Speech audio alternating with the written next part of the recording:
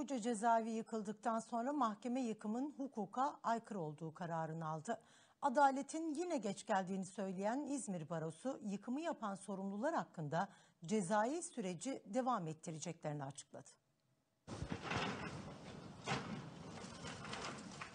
62 yıl boyunca kullanılan Buca hapishanesi için 17 Mayıs 2021'de kapatılma kararı alındı.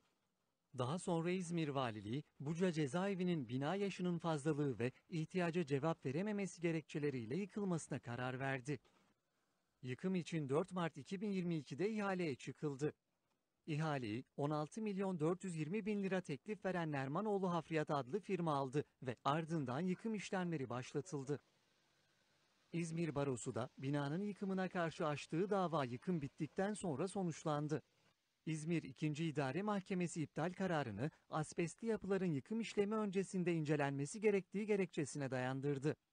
İzmir Barosu Yönetim Kurulu üyesi Şefika Yıldırım Sert, kararın ihaledeki hukuksuzluğa tescil etmesi açısından olumlu olduğunu ancak adaletin yine geç geldiğini dile getirdi. İhaleyi alan firma yıkımı gerçekleştirmiş olsa da sorumlular hakkında hukuki ve cezai süreci devam ettireceklerini belirtti.